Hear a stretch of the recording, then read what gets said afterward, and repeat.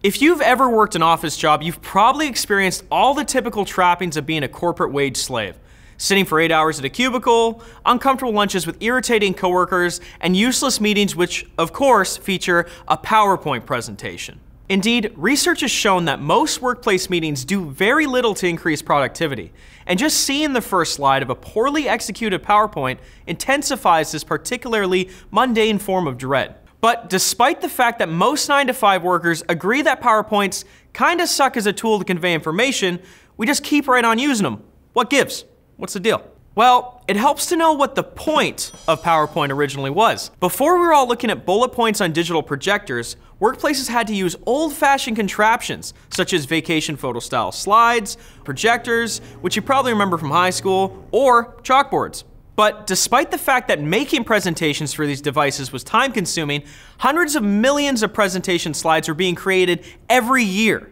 And even though software and equipment that could show PowerPoint-like presentations were around before the 1980s, they were very expensive. However, once the personal computer started becoming widespread, software developers quickly figured out that using them to show visual aids in the workplace made both giving and creating presentations much quicker and easier. And since people were already used to the slides presentation paradigm, Programmers already had an idea for what presentation programs should look like. So lots of presentation programs came out for the PC in the 1980s, with PowerPoint hitting the scene in 1987. And while this did make it much easier for workers at all levels to share thoughts with colleagues, the problem was that no one really knew how to use it. I mean, think about the options most people are familiar with when creating a PowerPoint. You can choose a fancy looking background, embed animations to your heart's content, or even throw in some word art.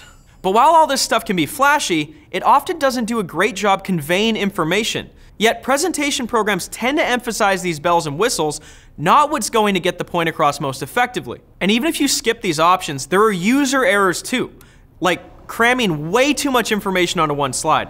I know we've all done it. While you've probably seen this any given board meeting or college lecture, this exact problem was actually implicated in the Space Shuttle Columbia disaster back in 2003. You see, a presentation for NASA actually contained information about the defect that caused the shuttle to ultimately explode, but it was buried far down on a slide, which was mostly a wall of text that actually started out on a positive note, meaning no one paid much attention to it. But this example highlights not only that PowerPoint slides often contain too much or too little information to be helpful, but that it's also been roundly criticized for making people too passive with how they learn or absorb new concepts.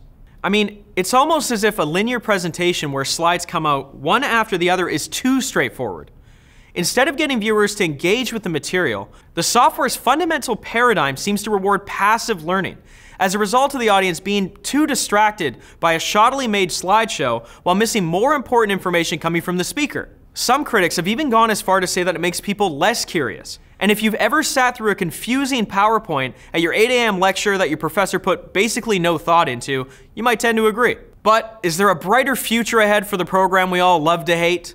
Well, both PowerPoint and its rivals are incorporating features that attempt to make presentations less linear, such as zoom features that allow the presenter to access different pieces of information and make the experience less predictable and torpor-inducing without breaking flow. Important in this age of Instagram adult attention spans. Regardless, it might be worthwhile for us all to just learn how to use PowerPoint correctly. A good presentation should be a useful learning aid even after you've wrapped things up and have snuck out to an expense account lunch. So make your slides informative without cramming so much stuff onto them that no one can read them. Use interesting visuals that help your audience understand instead of pointless clip art and stock photos of business people. And don't just read off the slides verbatim.